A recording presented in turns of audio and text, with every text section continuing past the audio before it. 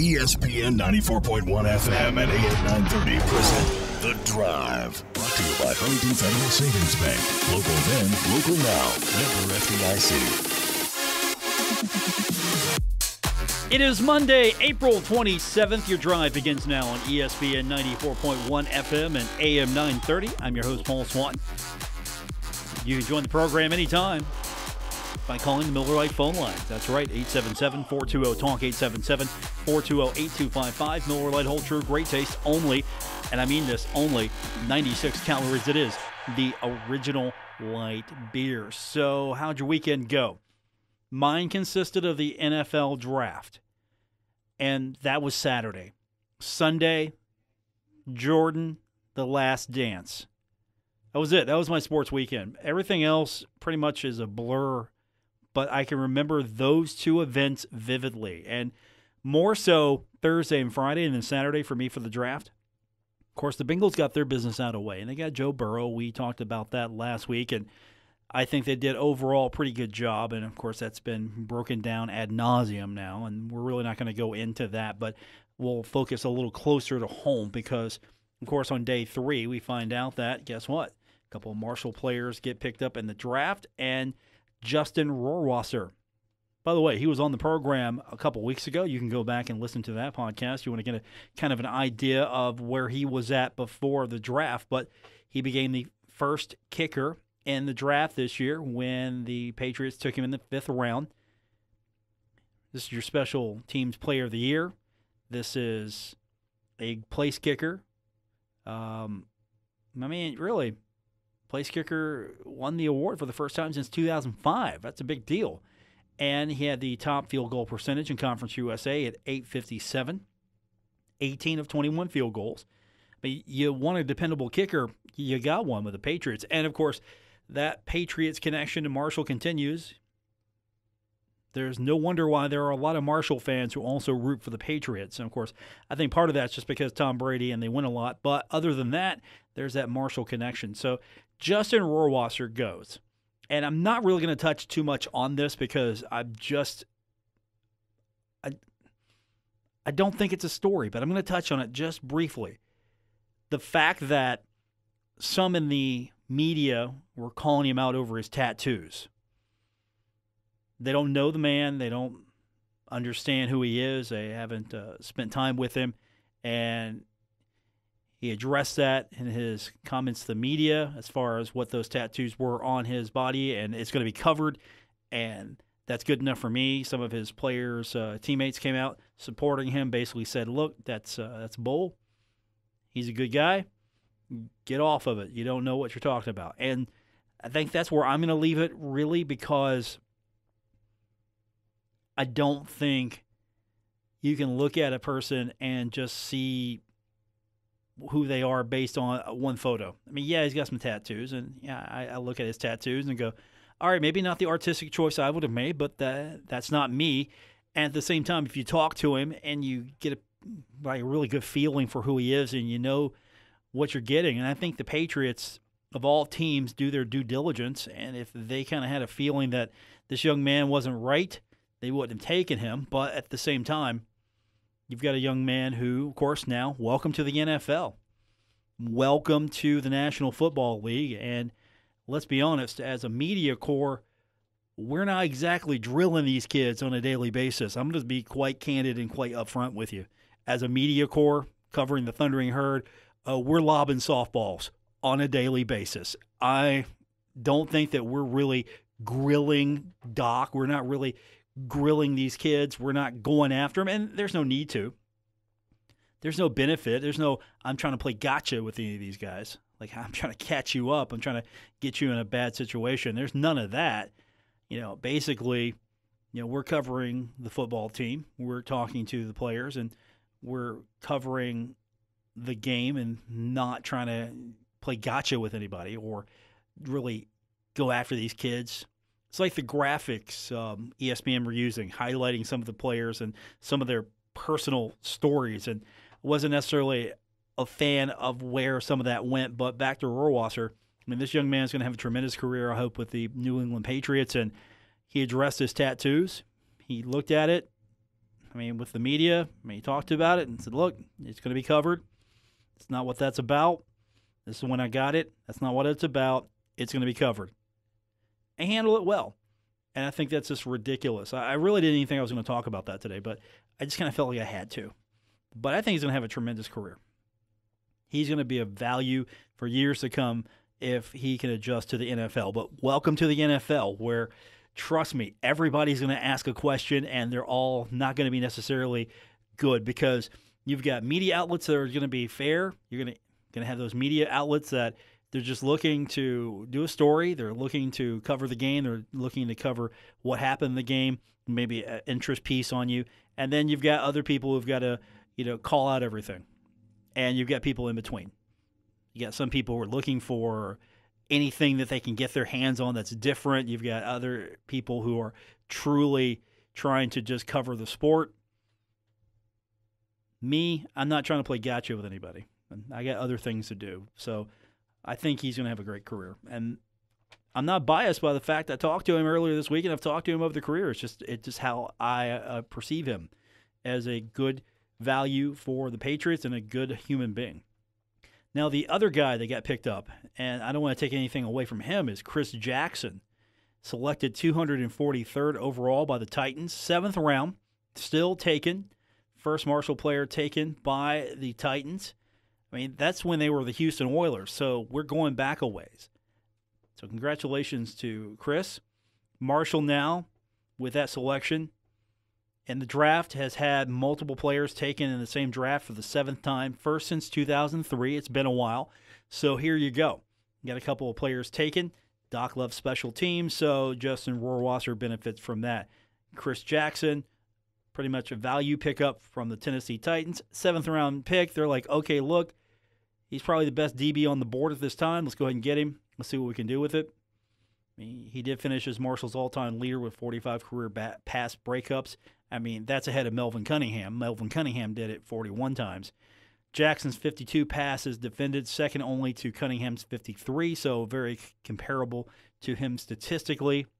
First team All Conference USA, 25 tackles, 11 pass breakups, one interception. You know the deal. You know what good he's going to do back there you know what he's capable of doing. So, seventh round, that's great for him. And so he'll definitely, if he can stick, have a good career with the Tennessee Titans. And I really hope he does. And I thought Conference USA did pretty well as far as the draft was concerned. Of course, all the action was taking place on the third day. It's rapid fire stuff. It's really just rapid. And overall, I wasn't overly disappointed with the coverage the NFL draft had. Uh, I think that some people were off put by the multiple talking heads. Yeah, this is what this is going to look like. It was going to look like a Zoom conference call. Why? Because you've got people in different locations. And you also are combining coverage this year. You had everything coordinated with the NFL network and ESPN. So, why did you have more people on screen? Because you were sharing coverage, not trying to jumble up your screen. You're trying to share coverage. So, how are we going to share coverage? Well, we're going to have these analysts here, and we're going to have these analysts here. And you can't have Trey Wingo and Rich Eisen. You got to have one quarterback or the other. So Eisen got sent over to a, a different platform. Trey Wingo, he's doing the draft this year. Best location he can do it from. Everybody else is trying to deal with it as well. This isn't the norm, but at the same time, I thought they did okay. Wasn't the best draft I've ever seen, wasn't the worst draft I've ever seen. It, it was what it was a draft. And I think the NHL is looking into what the NFL did, kind of get a feel for how they put it together, what makes sense for them, what is good, what wasn't good. So you might have the NHL follow a similar format. They're talking a little bit about the draft because we would be talking about the draft soon. Problem is, you really can't have a draft until you establish final regular season standings. And then, of course, you've got the playoffs and the hubs. The NHL is talking about still picking up some steam, some options there, trying to find places that have accommodations for multiple teams, practice facilities with multiple practice sheets of ice. Of course, the arena everything you need, multiple locker rooms. That's a big thing as well. You have multiple locker rooms. So if you are ever building a facility, a sports facility, you need multiple locker rooms. I don't care what it is. If you don't have multiple locker rooms, you're building it for one team, yours and the visiting team that comes in. I don't mean two locker rooms as multiple locker rooms. I'm talking three, four, multiple locker rooms here. So that way you can host events like this. I mean, that's a key. You got to have different locker rooms for everybody. So if you got multiple locker rooms, and of course, a lot of arenas do. They're just built that way now. A lot of arenas don't. Some of them are more purpose built. Some of them have multiple tenants. So you have those situations you have to deal with on a daily basis uh, when you're trying to put together a, a sports league postseason. You're trying to figure out, okay, what's the best way we got to do this? Now, with all that said, I'm still interested in see what the NBA comes up with. I'm still interested to see what Major League Baseball comes up with because a lot of this is going to depend on how the states relax restrictions, how the states are opening up. Some people think states are opening up too soon. A lot of people are in the middle. Some people are, hey, you're not opening up fast enough. You got some crazies who think you should be opening up last week. So we're all over the place here when it comes to when this should open up. And just to give you an example, Marshall has begun tentative plans, and these are tentative, tentative, tentative plans to have in person classes for the fall 2020 semester. Now, Jerome Gilbert sent out a message to everyone on the campus or attached to the university today, sort of announcing the fact that, look, we don't know what's going to happen, but based on today's models, we're trying to figure out what the new normal looks like for the fall semester, emphasizing that everyone's going to know more in the coming weeks and months. And it's all going to come down to what's the infection rate look like how many cases are we dealing with in the region, the state? Also, will there be a spike, a second wave? All of this is going to play into this.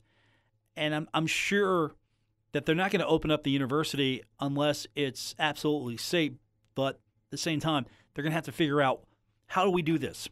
How do we do this and keep people safe? How do you space classes apart? How do you do you limit class load? Do you limit how many you can have in a classroom? I mean, what are going to be some of the challenges? Constant disinfection. I mean, it dis- yeah, just basically disinfectant. It's going to be all over the place. You're going to have to. You're going to try to have to keep the facility as clean as possible because you're not just dealing with the COVID 19, the coronavirus, you're dealing with the flu and everything else. And so I'm sure we're going to find out what the plan is, how they're going to address this, because the thing that needs to be said is this thing's not going away. And so you're going to have to put measures in place to figure out how do we go about this and minimize the risk at the same time not put our students in a situation where we are increasing the risk. Same thing with football because you can't have football without students on campus.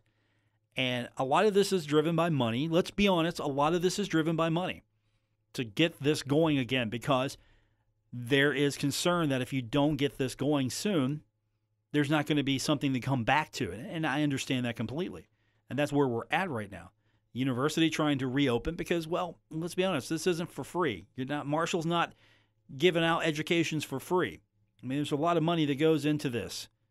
Pell Grants, people out of pocket, everything. I mean, this this is for profit. Let's not be, you know, let's not get ourselves here. And so they've got to figure out how to do this, how to balance this. And I guess that's the word, balance all of this with the reality that there's a virus out there without a vaccine right now and you're trying to figure out how do you do this and still not get people sick. That's the ultimate because I can't wait to see what the NFL does. How does the NFL go about? How do they handle if they think they're going to be playing in the fall? How do they go about this? What has to happen for us to say, okay, we're playing football? And how many fans are going to show up? Is this going to be television only? And that's a better solution than nothing. You want to see football? okay, it's going to have to be from home on television. You can't go. You can watch it, but you can't go. And so that's going to be a different dynamic because, of course, concessions and everything else, there's going to be some lost revenue there. There's going to be people who are not going to capture that revenue from working those concessions and everything else and all the amenities, the luxury boxes, the ticket takers, the team shop. And this is just pro. This is pro, mind you. And on the college side, again, the answer is going to be okay, how do you pull this off? Can you have college football without fans? And I don't know if you can. I mean, it's possible, it's technically possible. So let me just say, yeah, you, you can have it, but can you? Can you play that without fans? Because the different revenue here, Marshall TV package with Conference USA, not paying the bills here. Tickets sold, tickets sold. Again, tickets sold. People in the stands, people buying concessions, people buying merch, people paying for those parking spots so they can sit and tailgate and not go into the stadium and watch the game. That's that money that you have to capture, all part of this. And you're not going to capture that money if you don't have fans in the stands. And so we don't know. And Conference USA, still looking at what the realities are. Can you pull this off and have a situation where the schedule's going to change? I mean, Judy MacLeod was talking to the Athletic. Let me pull that up here. I've got this story right here. Judy MacLeod, she's talking to the Athletic and talking about do you play more in your division? Do you play additional non conference games with those around you since conference travel is pretty significant. And she's saying, look, it might be a good idea to play your non conference schedule a lot more regionally. Okay, that might be easier for, say, basketball. If I'm Marshall, okay, I can play, this is basketball. I can play Morehead. I can play Ohio. That's easy. You can play Miami, you want to you want to canvas Ohio? You get Akron? Yeah, you can play them. Sure, you can play them. Maybe you got to take a road trip. Maybe you're going down to Virginia Tech if they got an opening for you. All right, that's close enough. You can travel. You can make that trip. I mean, Eastern Kentucky, you can play them. I mean, you can play several schools in Kentucky. You could play several schools in Ohio. You could travel to Virginia for a couple of games. You've got some options here. You've got lots of options here as far as this regional scheduling is concerned. I mean, that's basketball, and that's probably the Olympic sports as well. You've got those options there. And travel is going to be an issue. We're going to talk a little bit more about that because travel is going to really be cut back, it looks like, depending on the situation. But North Texas is cutting some costs as well. They're trimming some expenses. We're going to talk about that. And of course, I'll take your comments on Twitter. That's the best way to catch me during these trying times where we don't have a person answering the phone while I'm talking at the same time. So if you want to get a hold of me, the best way, if you're on social media, if you're on Twitter, go ahead, send me a message that way. I will try to respond to it as fast as I possibly can. And of course, if you're listening to the show on delay, message me anyway. I'll take a I'll take a look at it anytime I get that notification. We will come back and talk more on this Monday edition. It's the drive on ESPN 94.1 FM and AM 930. You're listening to The Drive with Paul Swann on ESPN 94.1 FM and AM 930.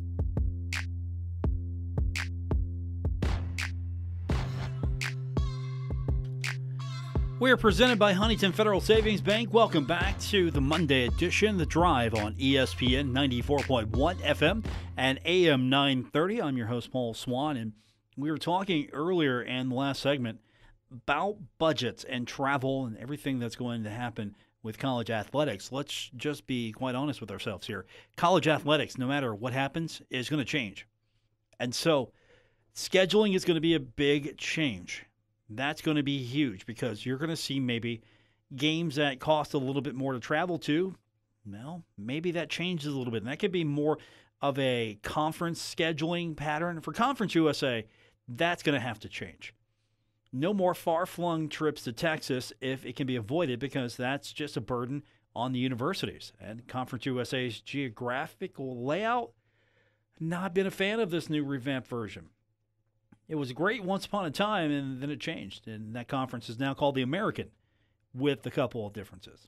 So remember, if you don't, you remember the Conference USA landscape when Marshall was approached and Marshall was going to become a member. You got Louisville, you got Cincinnati, you have Marshall and the opportunity to play in this conference with Louisville and Cincinnati and these other schools and the geography it just made sense and then it doesn't. Well, here is North Texas.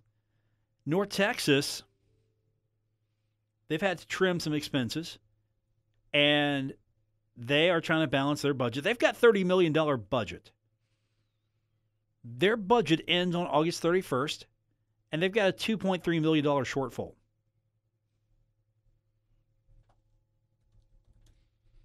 And here's what they have asked their coaches to do they have asked their coaches to eliminate non conference games that would require flights. That's right, North Texas.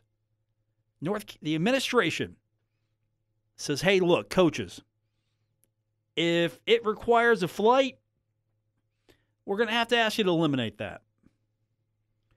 They've also put a 2-year moratorium on what they refer to as experience trips. Experience trips, okay? They are basically trying to figure out any and all things they can do as an administration, as a university, the university itself. University, it's trying to find ways to cut back expenses. And they feel, at least in the athletic department, they in the athletic department, the they feel that they're going to get this going. They're going to play. But they're also going to have to find ways to pay for a lot of their seniors to return. That's going to hit the budget because they're going to allow most of the athletes that want another shot their senior year to come back. Probably some of those athletes aren't coming back. They're going to move on. They've graduated or they're going to take other opportunities. You don't know what the future holds. So that's going to ease the burden a little bit. But we haven't heard what's going to happen yet from Marshall because we just don't know. We don't know what is going to happen. Will there be football? Will football impact the rest of the budget? Yes, it definitely will. But North Texas is already basically saying, look, if, if you got to take a flight, you're not going. North Texas is a different animal, though. North Texas, it's in Texas. And it kind of feels like if you're in Texas, everything you have to do takes a flight. But if you've got to travel to play and you've got to take a flight to do it, you're probably not going to be able to do that. Has it got to that point yet with other athletic departments? You know, will you see Marshall come out eventually and say, "Look, okay, here's what the expenses, here's what the budget is, here's what we're going to do."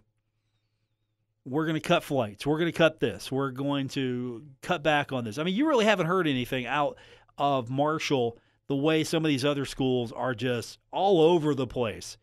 It's like North Texas has a press conference every week about some of this stuff, it feels like.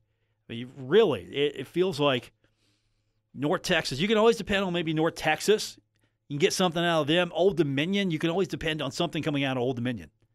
You can almost put your finger on it and say, all right, one of these two are going to move soon. Which one will it be? And it's usually Old Dominion or North Texas. You get something out of them. And if North Texas is going to have to do this, what does that mean for the rest of the teams in Conference USA? What's that mean for for Marshall? And I don't know. And you don't know. And I don't know if the athletic department knows. And sometimes, and sometimes, not always, but sometimes, silence is better. It's just better sometimes to be silent because then you don't have anything that you can worry people with. Speculation's one thing, but that's what it is. That's all I'm doing. I'm speculating. I'm talking, I'm speculating, I am putting forth ideas, scenarios, I am putting forth what could happen, maybes, all of this. None of it could be true. The budget could be fine. The budget could be terrible. I don't know. And they're not going to tell me. They're not going to sit there and go, okay, you know what? We're on life support here, Paul. No, because we don't know what's going to happen yet. And I think that's a smart play in many regards because let's be honest. If you're if you're North Texas, I mean, you're trying to figure out, okay, how do we figure the budget shortfall out here? And you're like, sorry, coaches. I mean, I wouldn't want that stuff to get out. Again, if, if I'm thinking coach wise now, I'm thinking coach wise. I want to maintain, I want to keep all my cards as close to the vest as I possibly can. I want to keep everything I can close to the vest.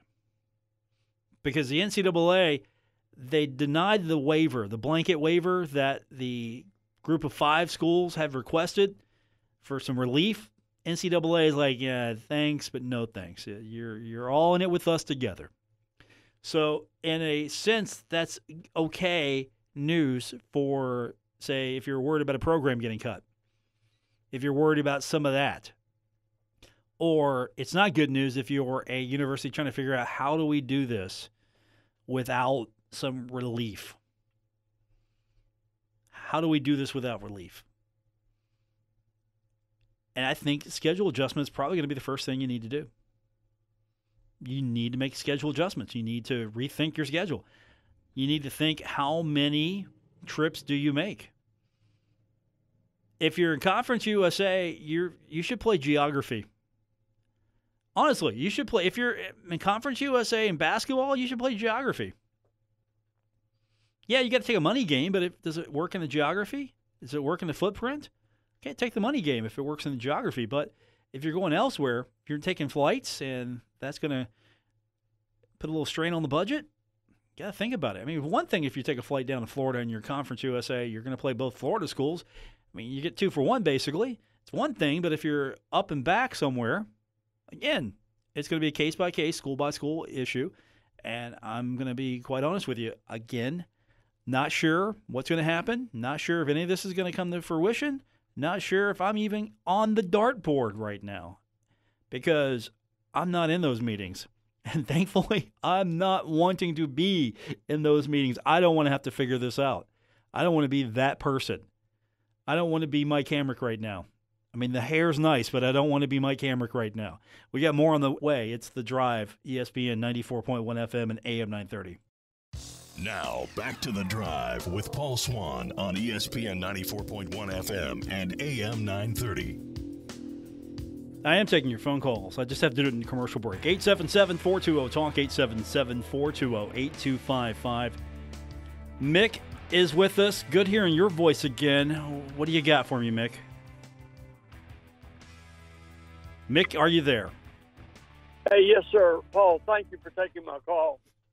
And again, I, I apologize if you've already discussed this, but the the current state of Marshall athletics, then I'm wondering about the baseball field because uh, the completion date had already been moved back, and the cost was much more than they first anticipated. Now, with this mess that we have with everything else going on, how in the world does the Marshall baseball field fit in and I will just uh, hang up and let you discuss that. All right. All right. That's a topic. Thank you, sir. That's Mick checking in. I appreciate that. That's a good question. Okay. Again, this is without the advantage of asking that question directly to Mike Hamrick to this very moment. First of all, unless Marshall is quietly doing fundraising right now, Marshall Mike Hamrick has gone on record. He said this look, this isn't the time to go for fundraising. This isn't the time to call people up and say, hey, uh, can you help us out? Because there are businesses right now that are depending on loans. There are businesses right now that are trying to figure out how to stay open. There are a lot of people trying to figure out what their finances are. The economy is not in a good place right now. I mean, we're all struggling. Fair, so that's problem number one. Mike's not going to go out and just say, look, hey, I, I, know you're struggling, but I need some money for the baseball park. So that's their first problem. Uh, second issue is I know a lot of the the cost, a lot of it's got to do with getting the site ready. You got to put some money into the site. With the city of Huntington's help and the partnerships they've got, there could be some opportunities to maybe work on that site, get it down in cost. Site per yeah, the site needs worked on. So there's that issue. Um, I'm sure the plans will be revised. Instead of four bathrooms, maybe you get three bathrooms. Instead of four light poles, you might get three light poles. Instead of four concession stands, you might get three concession stands. I mean, there there are ways to trim. There there are ways to to bring that in line. You want four bathrooms, get more money. You want three bathrooms, well, this is what you're going to deal with. I mean, there there are ways to do this. They'll go back. They'll revise the the blueprints. They'll revise the design. They will try to figure out what they need to do to get the bids in line a little bit more with what they have. But I don't see this as something we can say is going to happen until the state is back into whatever phase it's going to deem you can start construction again. And then Marshall's going to have to go out and figure out how to fundraise in this climate because Marshall's going to need to fundraise. Right? Fair? It's going to have to happen eventually. And so if you can get some added funds to this baseball park maybe you can get everything you want, or maybe you're going to have to trim a couple of things from the design, trim a couple of amenities. I don't know. I mean, it's not as if they're going to build a grandstand with some wooden bleachers and call it a day. So I'm not worried about that. It's just there are so many moving parts right now, and I don't think it's fair to say that with Marshall and this COVID 19 situation that they're still pushing forward. Let's get this ballpark built. I think they're prioritizing what they're needing to do. I mean, where the baseball plans fit. I mean, yeah, you're going to have to hold back on this a little bit. You can't work on it until you can work. And so when the state is back to a point where you can have construction again, you can work again with whatever new guidelines and new restrictions you're going to have in place, then you can move forward. Is this thing going to be ready for next year? I don't think so. And that's fine. I'd rather it be ready when it's ready instead of trying to rush it forward because scheduling is going to change. Scheduling is completely changing right now.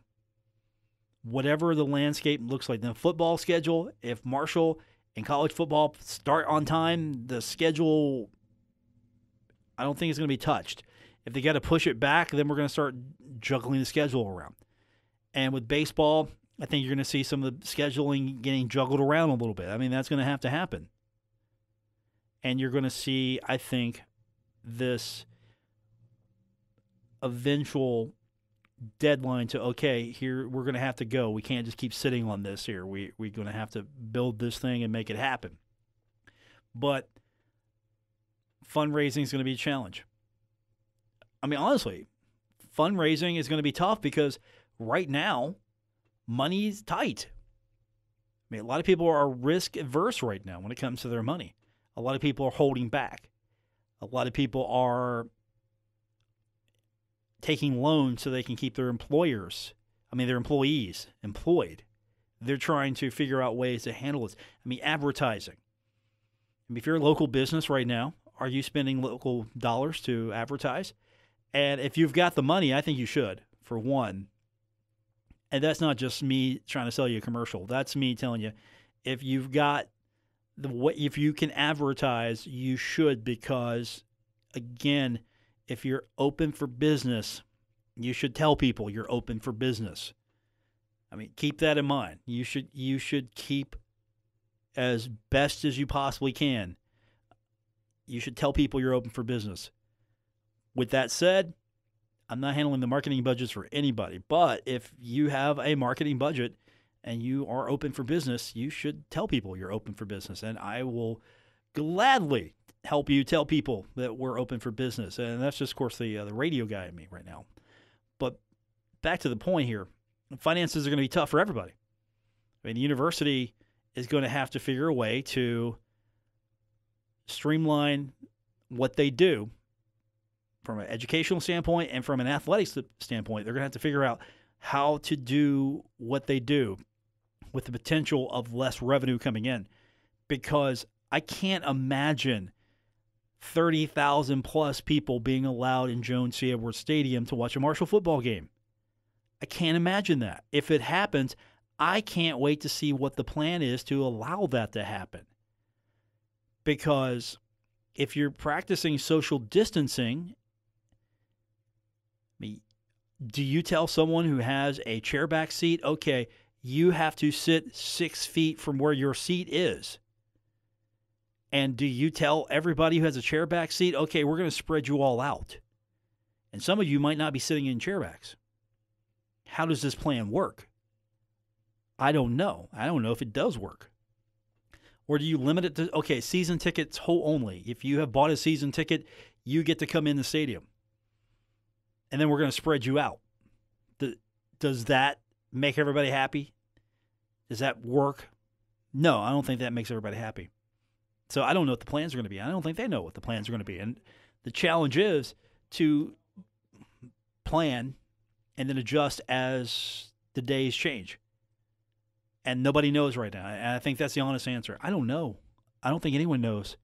There might be somebody uh, in the athletic department has a way better educational guess or idea of what's going on than I do because they have more information. I mean, the people who are in power know to some degree what plan A, B, C, D, E, F, and G look like, but I, I don't think we know from a day to day basis.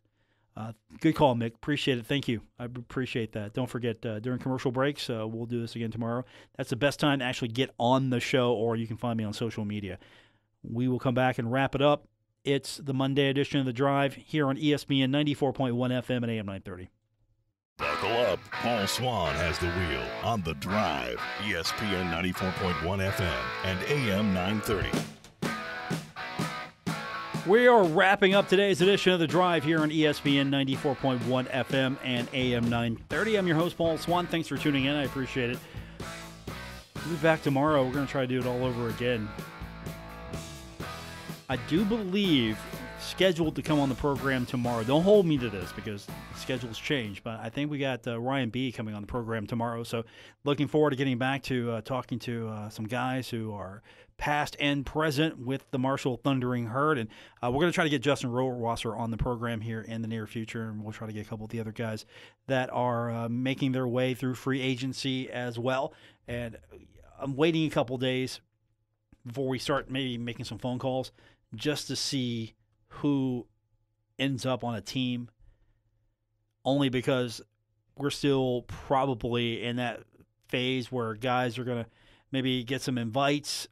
I, I don't know how the NFL is going to do this, depending on what travel restrictions are or what facilities uh, they're going to be able to use. I don't know how this is going to work in the uh, post draft because you kind of had an idea. But I will say this, um, you know, we'll try to get Omari Cobb on. We'll see if we can ma- manage to get him on. He did sign with um, Kansas City um, as an undrafted free agent, so he is right now. He got a pretty good path if he can hang on to it to the NFL.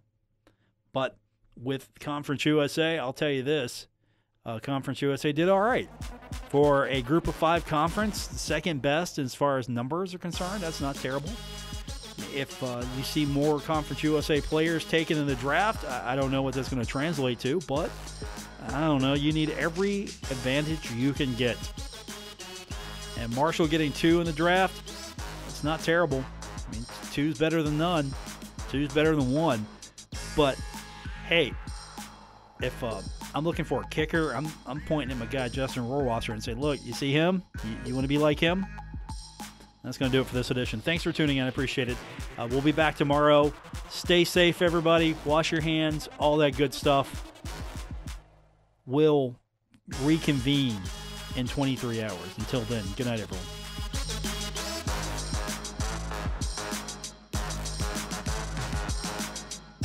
WRVC Huntington, W227BS Huntington, your flagship home of the Marshall Thundering Herd and the Drive with Paul Swann, ESPN 94.1 FM and AM 930.